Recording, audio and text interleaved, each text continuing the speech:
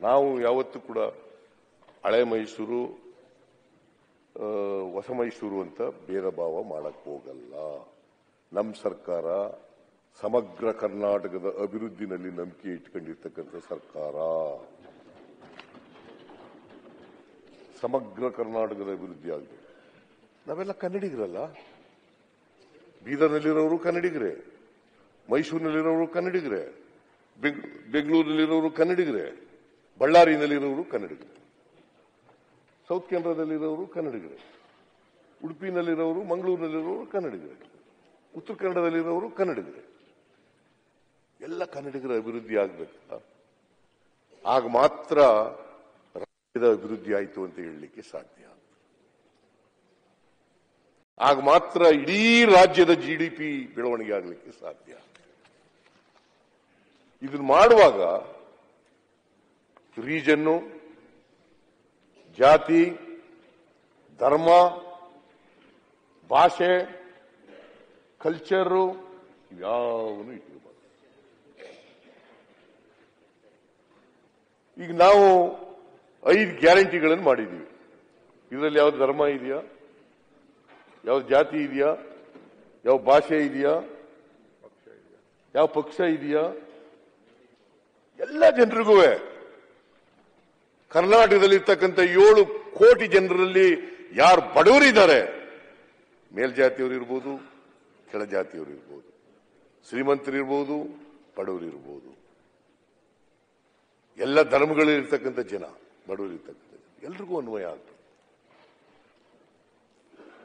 ಎಲ್ಲ ಜಾತಿನಲ್ಲೂ ಕೂಡ, ಎಲ್ಲ ಧರ್ಮಗಳಲ್ಲೂ ಕೂಡ ಬಡವರು ಇದ್ದಾರೆ we're all human beings we're all human beings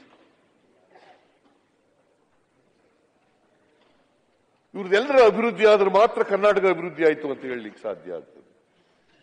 ಇವ್ರದೆಲ್ಲರದು ತಲಾ ಆದಾಯ ಜಾಸ್ತಿ ಆಯಿತು ಅಂತಂದ್ರೆ ಜಿಡಿಪಿ ಬೆಳವಣಿಗೆ ಆಗ್ಲಿಕ್ಕೆ ಸಾಧ್ಯ ಆಗ್ತದೆ.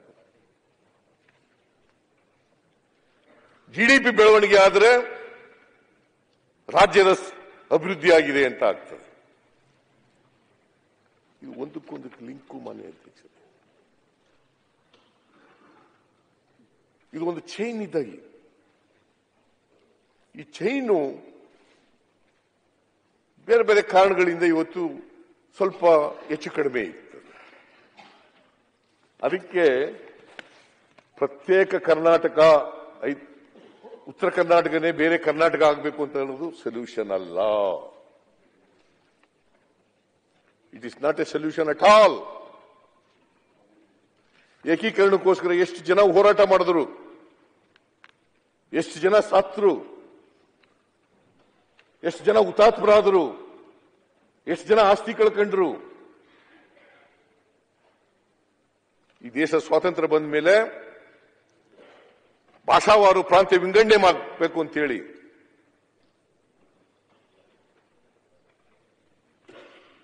ಇಡೀ ದೇಶದಲ್ಲಿ ಹೋರಾಟ, ಕರ್ನಾಟಕದಲ್ಲಿ ಇವರೆಲ್ಲ ನೋಡಿ ಹಳೆ ಮೈಸೂರಿನವರು ಕೂಡ ಏಕೀಕರಣಕ್ಕೆ ಹೋರಾಟ ಮಾಡಿದ್ರು. ಕೆಂಗಲ್ ಹನುಮಂತಯ್ಯನವರು ಹೋರಾಟ ಮಾಡಿದ್ರು. ಎಸ್. ನಿಟ್ಲಿಂಗಪ್ಪನವರು ಹೋರಾಟ ಮಾಡಿದ್ರು. ಕಡಿದಾಳ್ ಮಂಜಪ್ಪನವರು. ಏಕೀಕರಣ ಆಗ್ಬೇಕು. ಪಾಪ ನಮ್ಮ ಉಮೇಶ್ ಕತ್ತಿಯವರು ಇಲ್ಲ ನಮ್ಮ ಜೊತೆನಲ್ಲಿ. ಅವ್ರು ಯಾವಾಗಲೂ ಪ್ರತ್ಯೇಕ ರಾಜ್ಯ ಆಗಬೇಕು. ಪ್ರತ್ಯೇಕ ರಾಜ್ಯ I think Yatnal is not for that nobody is for that it's not a solution at all ನಾವು ಇಡೀ ರಾಜ್ಯನ ಅಭಿವೃದ್ಧಿಪಡಿಸ್ತಕ್ಕಂಥ ಕೆಲಸವನ್ನು ಮಾಡಬೇಕು. ನಾವೆಲ್ಲರೂ ಶೇರ್ ಮಾಡಬೇಕು. ಈಗ ಹೈದರಾಬಾದ್ ಕರ್ನಾಟಕಕ್ಕೆ ರಾಯರೆಡ್ಡಿ ಅವರು ಮಾತಾಡಿದ್ರು. ರಾಯರೆಡ್ಡಿ ಕೂತ್ಕೋ ಇದಕ್ಕೆ ಇಲ್ಲಿಂದ ಅಲ್ಲಿಗೋಯ್ತೀಯ ಅಲ್ಲಿ ಇಲ್ಲಿಗೋಯ್ತೀಯ? ಕಲ್ಯಾಣ ಕರ್ನಾಟಕ ಸರ್. ಆಯ್ತು.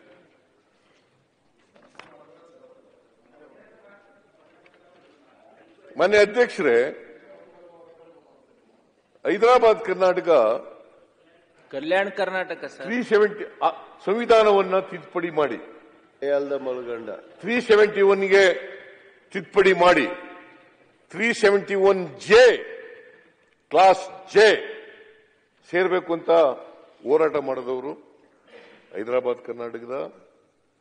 ಈಗ ಖರ್ಗೆ ಅವರು ಇಲ್ಲ ಇಲ್ಲಿ ಈ ಸದನದಲ್ಲಿ ಇಲ್ಲ ಖರ್ಗೆ ಅವರು ಧರ್ಮಸಿಂಗ್ ಅವರು ವೈಜನಾಥ್ ಪಾಟೀಲ್ ಅವರು ಅನೇಕ ಜನ ಹೋರಾಟ ಮಾಡಿದ್ರು. ಅನೇಕ ಜನ ಹೋರಾಟ ಮಾಡಿದ್ರು. ಹೈದರಾಬಾದ್ ಸಂವಿಧಾನ ತಿದ್ದುಪಡಿ ಆಗ್ಬೇಕು. ತ್ರೀ ಸೆವೆಂಟಿ ಒನ್ ತಿದ್ದುಪಡಿಯಾಗಿ ಕ್ಲಾಸ್ ಜೆ ಸೇರಿಸಬೇಕು ಅಂತ. ಅದಕ್ಕೆ I am sorry to say this ಆಗ ವಾಜಪೇಯಿ ಅವರು ಅಲ್ಲ ವಾಜಪೇಯಿ ಅವರು ಪ್ರಧಾನಮಂತ್ರಿಗಳು. ಅದ್ವಾನಿ ಅವರು deputy chief, deputy prime minister and home minister. ಆಗ ಎಸ್ ಎಂ ಕೃಷ್ಣ ಅವರು ಇದ್ದಾಗ ಪತ್ರ ಬರೀತಾರೆ ಒಂದು. ಆ ಪತ್ರಕ್ಕೆ ಉತ್ತರ ಏನ್ ಕೊಡ್ತಾರೆ? ಹೋಮ್, ಅಂದ್ರ deputy chief, prime minister and home minister ಏನ್ ಪತ್ರ ಬರೀತಾರೆ ಅಂತಂದ್ರೆ, ತ್ರೀ ಸೆವೆಂಟಿ ಒನ್ ಜೆ ಮಾಡಕ್ಕಾಗಲ್ಲ. ಮಾಡಿದ್ರೆ ಬೇರೆ ರಾಜ್ಯಗಳವರೆಲ್ಲ ಕೇಳ್ಬಿಡ್ತಾರೆ. ಅದ್ರ ಕಾಪಿ ಇತ್ತು ಇವ್ರ ಹತ್ರ ಇಲ್ಲಿ ಉತ್ತರ ರಾಯರೆಡ್ಡಿ ಹತ್ರ ಇತ್ತು ಕಾಪಿ. ನಾನು ಕೊಟ್ಸಾರಿ ಕೊಟ್ಟಿದ್ದೆ ನಾನು ಎಲ್ಲ ಎಷ್ಟ್ಬಿಟ್ಟೆ ಆ? ಟೂಗೆ ಪತ್ರ ಬರೆದ್ರು ಎಸ್ ಎಂ ಕೃಷ್ಣ ಅವರಿಗೆ. ಟೂ ತೌಸಂಡ್ ಟೂ ಅಲ್ಲಿ ನಾನು ನೋಡಿದ್ದೀನಿ ಆ ಪತ್ರನ. ನನ್ನ ಹತ್ರ ಇದೆ ಕಾಪಿ. ಆ ಪತ್ರ ನಾನು ನೋಡಿದ್ದೀನಿ. ಆಗಲ್ಲ ಅಂತ ಬಿಡ್ತಾರೆ ಆಮೇಲೆ ಸೋನಿಯಾ ಗಾಂಧಿ ಅವರ ಮೇಲೆ ಒತ್ತಡ ಹಾಕಿ ಕಾಂಗ್ರೆಸ್ ಪಾರ್ಟಿಯವರೆಲ್ಲ ಒತ್ತಡ ಹಾಕಿ ಆ, ಭಾಗದ ಲೀಡರ್ಗಳೆಲ್ಲ ಒತ್ತಡ ಹಾಕಿ ಒತ್ತಡ ಹಾಕಿದ ಮೇಲೆ ಸೋನಿಯಾ ಗಾಂಧಿ ಅವರು ಮನಮೋಹನ್ ಸಿಂಗ್ ಅವ್ರಿಗೆ ಹೇಳ್ತಾರೆ. ಇಲ್ಲ ಮಾಡಲೇಬೇಕು ಇದನ್ನ ಅಂತ ಅದನ್ನ ಅಮೆಂಡ್ಮೆಂಟ್ ಮಾಡ್ತಾರೆ. ಅಮೆಂಡ್ಮೆಂಟ್ ಮಾಡದ್ರಿಂದ ವಿಶೇಷ ಸೌಲಭ್ಯ ಕೊಡಲಿಕ್ಕೆ ಸಾಧ್ಯ ಅದು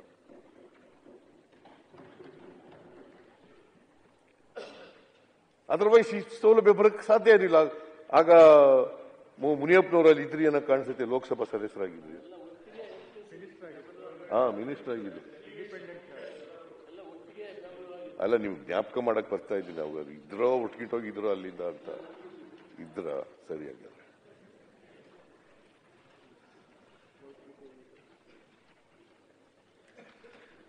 ಅದು ತ್ರೀ ಸೆವೆಂಟಿ ಒನ್ ಜೆ ಸಂವಿಧಾನ ತಿದ್ದುಪಡಿ ಮಾಡಿ ಆ ಕ್ಲಾಸ್ ಬಂತು. ತ್ರೀ ಸೆವೆಂಟಿ ಒನ್ ಜೆ ಅದಾದ್ಮೇಲೆ ನಮ್ಮ ಸರ್ಕಾರ ಬಂತು ಇಲ್ಲಿ, ಎರಡ್ ಸಾವಿರದ ಹದಿಮೂರರಲ್ಲಿ. ಆಗ ನಾನು ಒಂದು ಸಮಿತಿ ಮಾಡಿದೆ, ಎಚ್ ಕೆ ಪಾಟೀಲ್ ಅಧ್ಯಕ್ಷತೆಯಲ್ಲಿ ಒಂದು ಸಮಿತಿ ಮಾಡಿದೆ. ಎಚ್ ಕೆ ಪಾಟೀಲ್ ಇಲ್ಲ? ಅಲ್ಲಿದ್ದಾರೆ.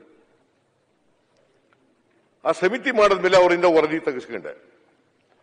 ಅವರು ಏನು ವರದಿ ಕೊಟ್ಟರು? ಎಂಪ್ಲಾಯ್ಮೆಂಟ್ನಲ್ಲಿ ಮತ್ತೆ ಶಿಕ್ಷಣದಲ್ಲಿ ಮೀಸಲಾತಿ ಕೊಡಬೇಕು ಆ ಭಾಗದ ಜನರಿಗೆ. ಮನೆ ಅಧ್ಯಕ್ಷರೇ ನಮ್ಮ ಆ ಸಪ್ ಆ ವರದಿಯನ್ನ ಯಥಾವತ್ತಾಗಿ ಒಪ್ಕೊಂಡೆ. ಯಥಾವತ್ತಾಗಿ ಒಪ್ಕೊಂಡೆ. ಆ ಭಾಗದ ಕಲ್ಯಾಣ ಕರ್ನಾಟಕದ ಭಾಗದವರಿಗೆ ಉದ್ಯೋಗದಲ್ಲಿ ಮತ್ತು ಶಿಕ್ಷಣದಲ್ಲಿ ಮೀಸಲಾತಿಯನ್ನು ಕೊಡ್ತಕ್ಕಂಥ ಸುಮಾರು ಎಂಬತ್ತೊಂದು ಸಾವಿರ ಉದ್ಯೋಗಗಳು, ಉದ್ಯೋಗಗಳಲ್ಲಿ ಮೂವತ್ತೈದು ಸಾವಿರ ಉದ್ಯೋಗಗಳು ಖಾಲಿ ಇದ್ದವು. ಅಷ್ಟು ಮೂವತ್ತೈದು ಸಾವಿರ ಉದ್ಯೋಗಗಳನ್ನು ಕೂಡ ಭರ್ತಿ ಮಾಡಬೇಕು ಹಿಂದೆ ನಾವು ಸರ್ಕಾರ ಇದೆ it is on record I am not lying it is on record ಮೂವತ್ತೈದು ಸಾವಿರ ಉದ್ಯೋಗ ಈಗಲೂ ಖಾಲಿ ಇದ್ದಾವೆ. ಈಗಲೂ ಭರ್ತಿ ಮಾಡಬೇಕು.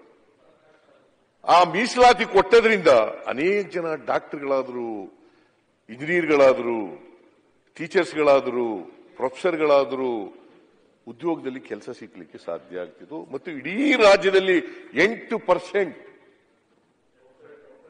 outside the Hyderabad Karnataka, Kalyana Karnataka ಎಂಟು ಪರ್ಸೆಂಟ್. ನೀವು ಹೇಳಲಿಲ್ಲ ಇದನ್ನು.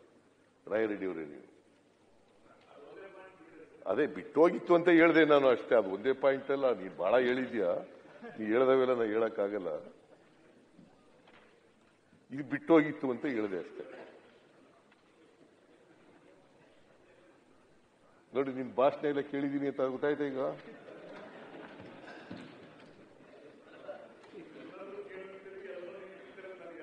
ಗೊತ್ತಿದೆ ನಿಮ್ ಬಗ್ಗೆ ಎಂಟ್- percent outside the Hyderabad Karnataka ಅದು ರಿಸರ್ವೇಶನ್ ಕೊಡಬೇಕು ಅಂತ ಮಾಡೋದು ಮನೆ ಅಧ್ಯಕ್ಷರೇ ನಮ್ಮ ಸರ್ಕಾರ ಹೈದರಾಬಾದ್ ಕರ್ನಾಟಕದಲ್ಲಿ ಖಾಲಿ ಇರ್ತಕ್ಕಂಥ ಎಲ್ಲ ಹುದ್ದೆಗಳನ್ನು ಭರ್ತಿ ಮಾಡ್ತೀವಿ. Eshwar I think you are happy